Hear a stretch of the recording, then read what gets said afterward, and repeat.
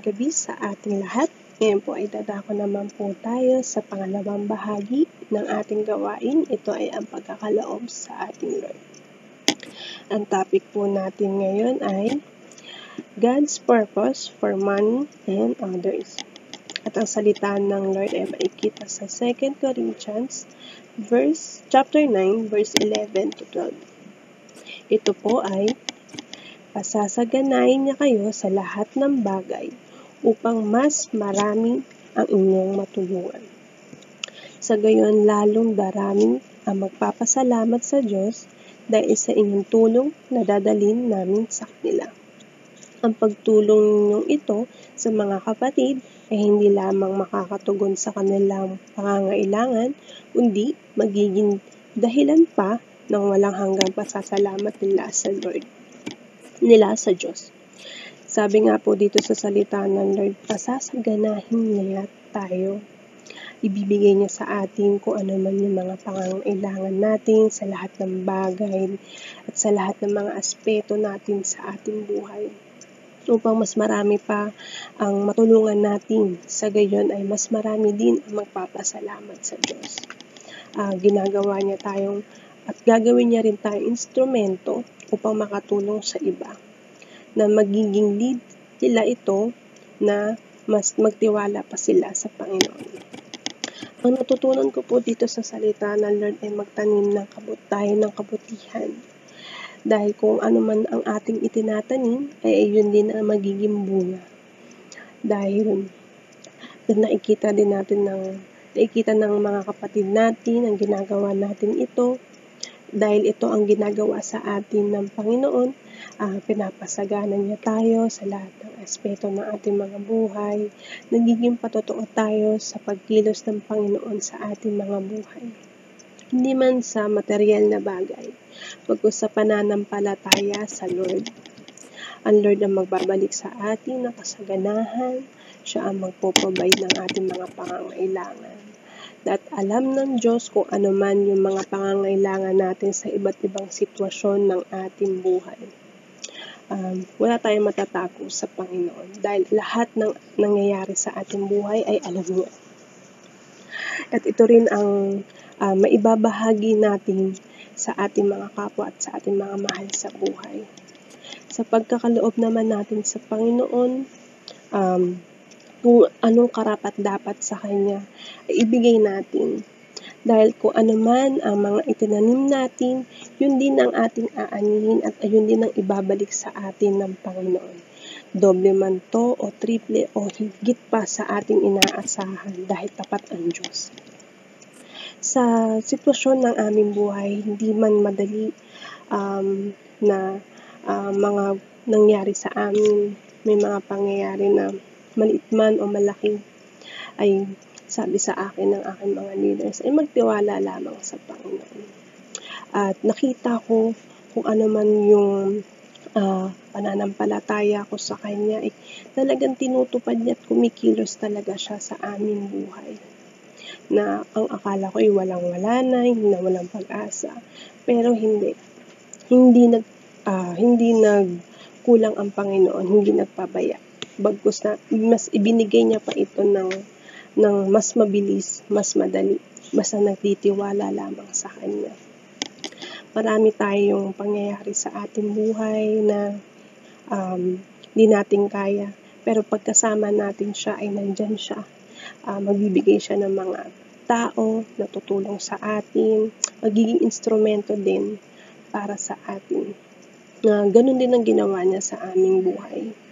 Alam ko po na mangyayari din po ito sa inyo kung hindi pa ito nangyayari. Uh, tapat ang Diyos. Lahat ng bagay ay may, uh, may panahon, may oras. At kung uh, tamang direksyon ang tatahakin natin ay tamang uh, ibibigay niya to sa atin. Ganon na rin po sa ating uh, pag, um, pagtulong sa kapwa natin, kung totoong pagtulong ba ito o uh, intention lang tayo.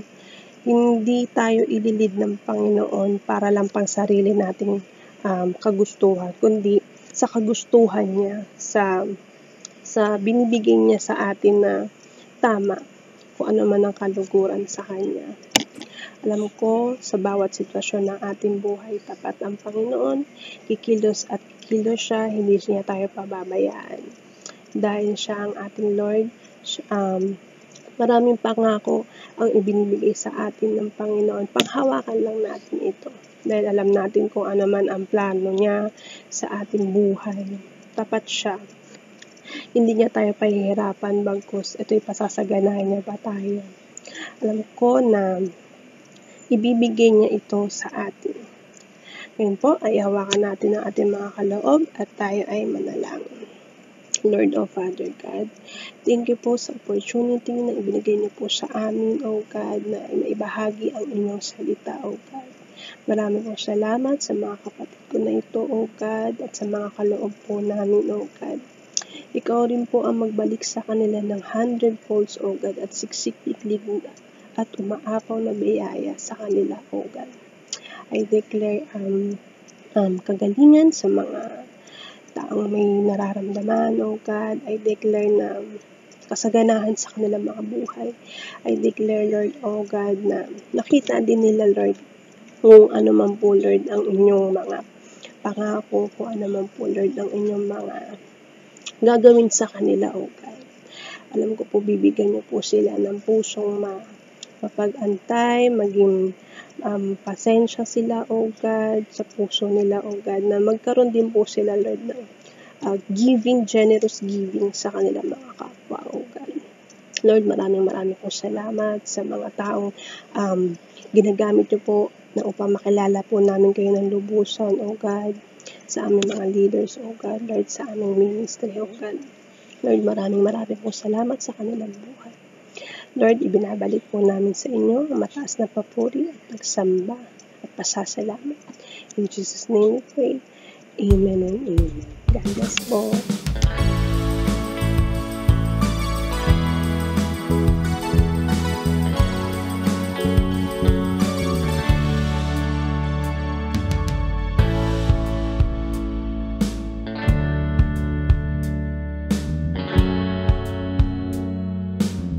Magandang gabi po sa lahat at tatako naman po tayo ngayon sa uh, pag-share ng topic natin sa ngayong gabi na ito. No?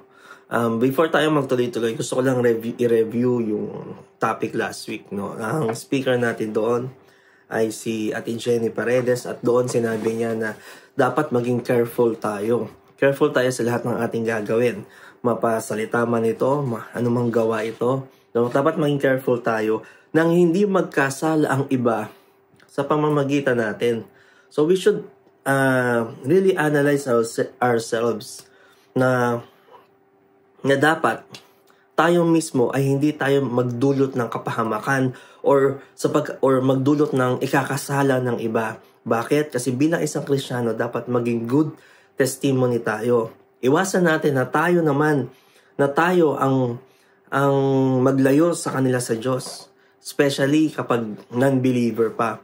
At sometimes, kapag believer naman, wag tayo ang ikakasanhin ng ikaka uh, ikakatisod nila. No? Kaya dapat uh, careful tayo sa lahat ng ating gagawin. Okay? Now, in the event, no, na tayo naman magkakamali, no, tayo naman magkakasala sa iba, doon papasok yung sinasabi nating forgiveness. Okay? Forgiveness po ang topic natin for tonight. Uh, I want I just want to emphasize that because unforgiveness brings bondage. So kung di, kung di natin kaya magpatawad, talagang mag, magkakaroon tayo ng bondage, magkakaroon ng uh, ng hawak sa atin ng kaaway, no? When we experience God's gracious forgiveness, we receive peace. Nung pinatawad tayo, nung humingi tayo ng tawad sa Diyos, na-receive natin ang forgiveness niya sa lahat ng ating mga kasalanan, no, there's some relief na, okay, pinatawad na ako ng Diyos. Okay, yung mga kasalanan ko ay wala na. Pero, to maintain that peace, parang ma-retain yung peace sa atin, mapanatili yung kapayapaan, hindi lang naman ng sa labas, pati yung sa loob, para manatili yon it is necessary to forgive others. it is necessary to forgive yung ibang tao. And sometimes, we always we, we always forgot na kailangan din nating patawarin ang ating sarili. Okay? Too much guilt will lead us not forgiving ourselves. Sometimes, dahil alam natin yung sarili natin, alam natin yung kasalanan natin sa iba, no? Hindi natin kayang, uh, nahihirapan tayo na patawarin, especially ang ating sarili. Kasi nga, alam natin yung ginawa natin. Hindi ko to kaya, hindi ko, hindi ko masak, hindi ko, uh, sukat akalain na nagawa ko to, ganyan, ganyan. Sana hindi ko na to nagawa. Pero yung, yung guilt na yon no, yung guilt na yon yun yung mag, doon magsisimula yun eh. Kaya nga sinasabi nila na pumapasok to sa bandage. No? Pumapasok to sa bandage. No, sabi nga dito sa Matthew 6:14 to 15, if you forgive other people, ayan ah, when they sin against you, so kung magkakamali man yung ibang tao at pinatatawad mo sila, your heavenly Father will also forgive you. So kung patatawarin mo yung ibang tao kapag nagkasala sila sa iyo, yung amang nasa langit ay patatawarin ka rin. Gayong paman. But if you do not forgive others, their sins, we cannot receive. Ah, sorry, their sins, your Father in heaven will not forgive your sins. So kung hindi naman din natin sila patatawarin, hindi rin tayo patatawarin ng Diyos. So, we cannot keep what we don't have. Hindi natin kaya magbigay ng kapatawaran kung hindi tayo pinatawad. Gayon din naman, we cannot receive but what we cannot give. So, ibig sabihin, yung hindi natin kayang ibigay naman sa iba, hindi rin natin ito matatanggap sa Diyos. Kung hindi natin kayang, kung hindi tayo maging, kaya natin maging pagpapala sa iba, hindi tayo pagpapalain ng Diyos. Kung hindi natin kaya maging good example sa iba, no, hindi dadaloy ang blessing sa atin. If we do not understand forgiveness of God, we cannot forgive others as God forgave us lagi natin tatandaan, it's better to understand what God gave us first. That's the first thing. No, kung hindi natin maiintindihan, hindi lang kailangan malaman mo. Kailangan maiintindihan mo talaga buong puso at lubusan sa isip at sa puso mo. Kailangan mag-gets mo talaga yon. Kung hindi mo yun mag-gets, yung ginawa ng Diyos sa atin, hindi mo rin yung magagawa sa iba. Kung hindi mo matanggap yun, ay Lord, ito nagawa mo, kahit anong explain sa'yo, kahit anong uh, basa mo ng Bible, hindi mo, ma- hindi mo 100% magets. Pag hindi mo magawa yon I assure you, hindi mo rin kayang gawin sa iba. So we really need to understand the forgiveness of God. Kung anong ginawa ng Diyos sa atin, the forgiveness of God, so that we can forgive others. No? And actually, it is an unconditional forgiveness. Ganun ang ginawa sa atin ng Diyos. Unconditional yon. Walang, ano, walang if-if. Patatawarin ko lang siya kung ganito ang mangyayari. Yan, kung babayaran niya. Kasi yung ginawa natin sa Diyos, hindi natin kayang bayaran yan. Eh. Pero pinatawad niya tayo. So, it is unconditional love. Ah, sorry, unconditional forgiveness. So, hindi, hindi, um, uh, hindi nanloloko ang Diyos. Seryosong seryoso ang Diyos with regards to forgiveness. No? Ini-emphasize niya to ng ilang beses. Doon tayo mag-focus ngayon. So when we forgive others, it brings a bondage. We don't forgive. Kung hindi tayo magpapatawad, it brings bondage to our souls that could be compared to being enslaved na-enslave daw tayo na parang addiction, which is napakahirap tanggalin, napakahirap tanggapin, napakahirap ma-overcome. Kasi pag sinabi mo addiction, talagang oras-oras iniisip mo to. No? Oras-oras. Tuwing, tuwing may magpapaalala sa'yo, papasok yun, papasok sa isip mo, naku, ginawa niya sa akin. No? Ganun na nangyari. So it really, unforgiveness, pinapasok tayo sa bandage ng unforgiveness na to. This unforgiveness causes a bitterness within us. Bitter ka. It lacks in sorrow, anger, and strife. So talagang lahat ng kalungkutan, sadness, papasok sa'yo, bitter ka nga eh. It locks out, di ba? It locks out joy, love, and fellowship. Kung hindi mo siya kayang patawarin, hindi mo siya kayang makita. Tuwing makikita mo sa church, oh, anong ginawa niya, ganyan, ganyan. So, nasisira yung relasyon nyo. Hindi mo siya kayang patawarin eh. Di ba? Ang mahirap dyan, kapag ang sarili natin, ang sarili natin ang hindi natin kaya patawarin. Sarili natin ang hindi natin kaya patawarin. So, hindi nagbibiro ang Diyos with regards to forgiveness. Okay? Again, if we do not understand the forgiveness of God, we cannot forgive others as God forgave us. So, pero paano ba talaga tayo pinatawad ng Diyos? It is unconditional. It is unconditional. Okay, so punta tayo sa text natin. Ang text po natin ngayon, by the way, ang title po natin is Forgiveness You Don't Give, You Don't Get. Okay? So, may text po tayo ngayon. Sa, text po natin is makikita sa Matthew 18, verses 23 to 35. Ito po yung parable ng unmerciful servant or unforgiving servant, kung tawagan nga nila. Okay? So, basahin ko lang po. No? Therefore, the kingdom of heaven is like a king who wanted to settle accounts with his servants. As he began the settlement, a man who owned him 10,000 bags of gold, which is um, 4 to 5 billion US dollars, was brought to him. Ganon po kalaki yung utang ng tao na yon. Since he was he was not able to pay, the master ordered that he and his wife and his children and all that he had sold to repay the debt. So dahil hindi nga siya makabayad, no, yung asawa niya, yung mga anak niya, yun yung gagamitin. Ibebenta yun. Ibebenta yun. Siguro as slaves. Tapos lahat ng ari-arian niya. Mabayaran lang. No? Come to think, 4 to 5 billion US dollars po yun. At the servant fell on his knees before him. Be patient with me. Nagmakaawa. He begged. And I will pay back everything. The servant's master took pity on him. Naawa. Nagmakaawa siya na babayaran ko naman sa'yo lahat.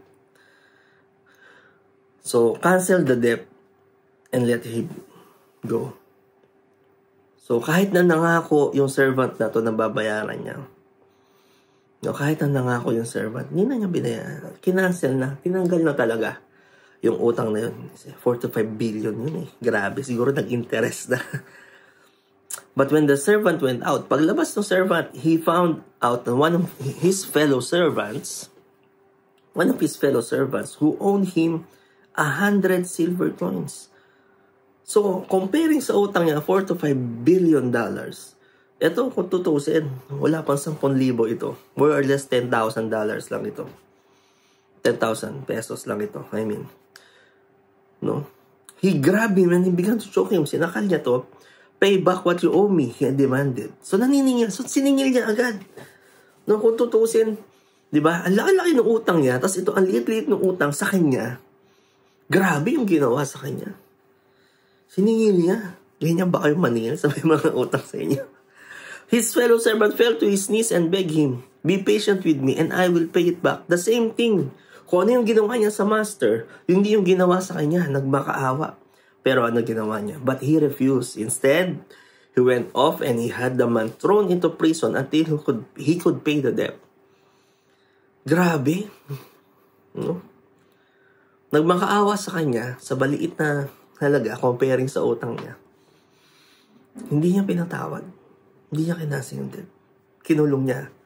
Now, when all the when the other servants saw what happened, they were outraged and went and went to told their master everything that had happened. So sinabi nila sa master nila kung ano nangyari. No? So nung nalaman ng master, no, when the master called the servant in, you wicked servant, ayan, I cancel all the debt out of yours because you begged me to. Kinancel nga yung utang niya. Pero nung yung may utang sa kanya, dapat magkaroon siya ng tamang mercy. So ano sabi dyan? Shouldn't you have had mercy on your fellow servant just I had on you? So, dapat maging ganun din daw siya. So, compare sa utang niya, ang tindi yung utang niya. Tapos ito, maliit lang. Hindi niya itutuloy. No? So in anger, his master handed him over to the jailers to be tortured until he could he should pay back all he owned. This is how my heavenly Father will treat each of you unless you forgive your brother or sister from your heart. Wow. Ganon ang ibig sabihin ng Diyos. Ganon ang ibig sabihin ng Diyos sa forgiveness. Ganon daw ang gagawin sa atin. No, ikukulong tayo. So, meron tayo tatlong bagay na makikita dyan. Meron tayo tatlong bagay. Number one, the unforgiving servant is turned over to torture. Nakikita natin sa verse 34a. So, again, sabi ko nga, torture means bondage, physical or emotional pain or sickness. No?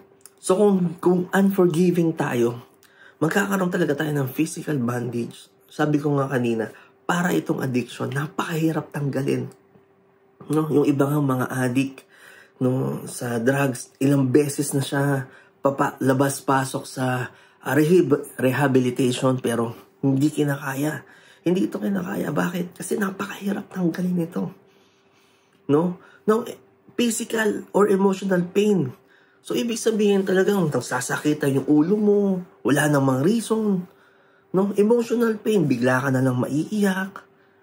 Para kang damdamin mo eh, hindi ka makati.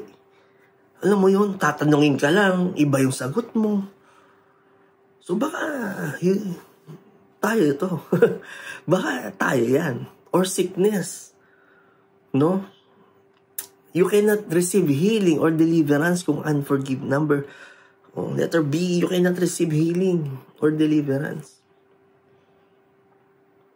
Kapag unforgiving ka. Kaya sometimes, baka meron tayong sakit na we need to search ourselves.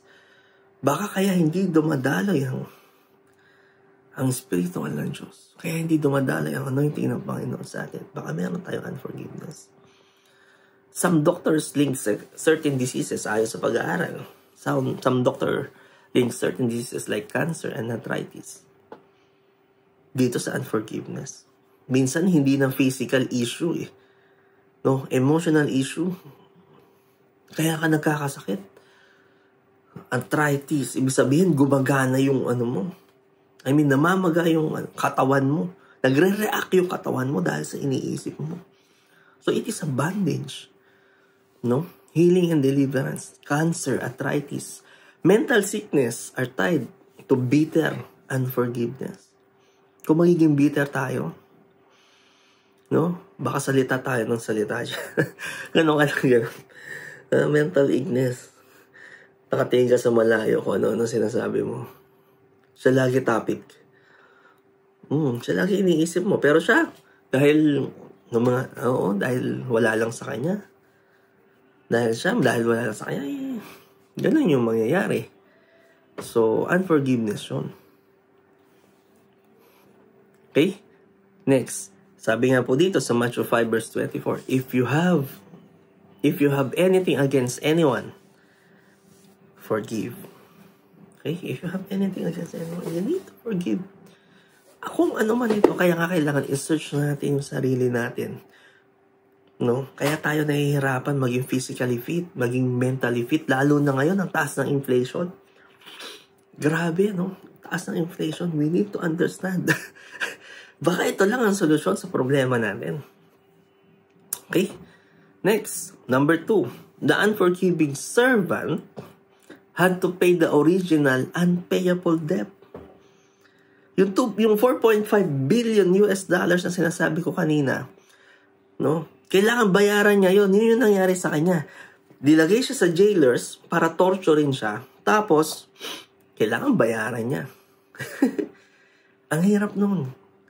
In short, unpayable yung debt na yon. Iilang lang tao. Bilang lang sa kamay natin yung may yung may uh, net worth na, na mataas sa 4.5 billion billion dollars. Grabe, ilan lang yun. I- ilang tao lang yun. Kaya kailangan maintindihan natin yun. Okay. He was required to do the impossible. Do? Is required to do that. Yes. Pa- paano mo babayaran yung 4.5 4.5 billion yun? Servant ka lang. Hindi bali kung may-ari ka ng United Arab of Emirates. 'Di ba? O kaya um, prince ka sa sa Arabian prince ka. sa Saudi Arabia. Paano mo babayaran yun? No? In short, ta, siya po ang magbabayad sa kasalanan niya. So, ano ibig sabihin nun sa atin? Ibig sabihin, tayo ang magbabayad sa kasalanan natin. Which is, the Bible says, impossible to do. Kaya nga hindi natin kayang iligtas ang ating sarili. Pero ang sinasabi dito, kung hindi tayo mag-forgive, God will not forgive us. Tayo ang magbabayad nun. Ano ibig sabihin nun? Tayo yung ipapako sa krus. Which is in, in reality, hindi natin kayang bayaran ang ating mga kasalanan. Tama ba? Kaya nga, we, we, um, ni-require tayo upang bayaran ang imposible. Okay? So, sabi dito 2 Peter 2, verses 20 to 21, no? If they have escaped the corruption of the world by knowing our Lord and Savior, Jesus Christ, and are again entangled in it and overcome, they are worse off the end than they were at the beginning. Anong ibig sabihin nun? Ganito po ibig sabihin nun. So, uh, nung tinanggap natin sa Diyos, tinanggap tayo, tinanggap natin ng Diyos. Diba? Pinatawad tayo ng Diyos. Katulad ng servant na yun, pinatawad siya ng master. Tapos, dahil nasa mundo tayo, by somehow, nag-backslide tayo, bumalik tayo sa kamundohan. Ano nangyari? Nagkaroon ulit tayo ng utang. no? So, ano nangyari? Tayo naman ay umaalis doon sa unforgiveness ng Panginoon.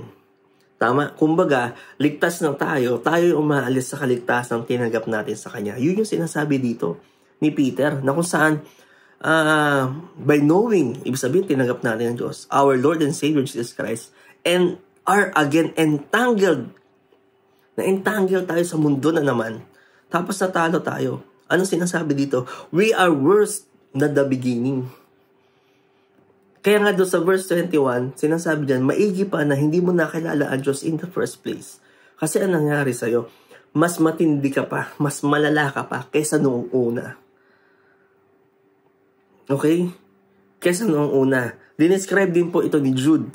Sabi dito sa Jude 12 to 13, verses 12 to 13, These people are blemishes at your love feast, eating with you without the slightest qualm. Shepherd who feed only themselves without fruit and uprooted, twice dead. So, dalawang beses daw to namatay. Anong ibig sabihin nun? Ibig sabihin, dati tayong, kasi dati tayong patay eh, na wala pa tayo sa Diyos. Nung hindi pa tayo nakaka, nakakakilala sa Panginoon, wala pa tayo sa Diyos. Patay tayo nun. We are considered dead. Tapos, nakakilala tayo sa Kanya. So, yung life ng Panginoon pumasok sa atin, nagkaroon tayo ng buhay na ayos yung buhay natin. Tapos, umalis tayo sa Diyos umalis tayo sa piling ng Diyos, ano nangyayari? ba? Umalis tayo sa piling ng Diyos. So namatay na naman tayo. So dalawang beses tayo namatay. We are twice dead. Ano daw 'tong mga tao to? Ang iniisip lang daw nila yung mga sarili nila. Iniisip lang nila sarili nila. There are clouds without rain, blown away, blown along by the wind. Autumn trees without fruit and uprooted. They are twice dead.